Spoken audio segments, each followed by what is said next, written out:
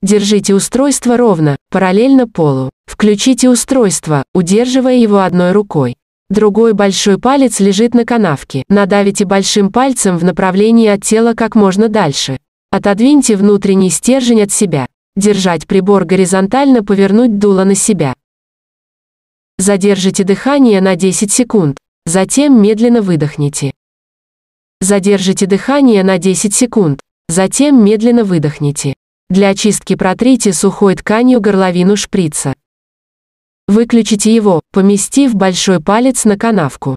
А затем вернуться к концу. После использования жидкости для полоскания рта прополощите. Знаете ли вы, что когда лекарство закончится, появится цифра 0?